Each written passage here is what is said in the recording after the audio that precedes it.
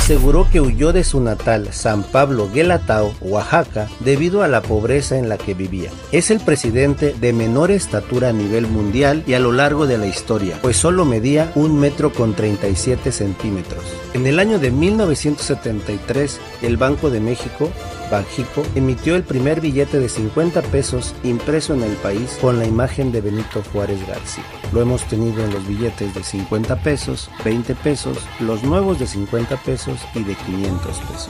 Era masón, así es. Un diploma evidencia que una logia del rito de Memphis de Marsella, Francia, lo reconoció como masón del grado 18, aunque realmente hay otros indicios que su grado pudo haber sido diferente. Grado 9 en México o hasta grado 33. Clemente Vázquez afirmó que fue miembro superior de la masonería francesa. Además, en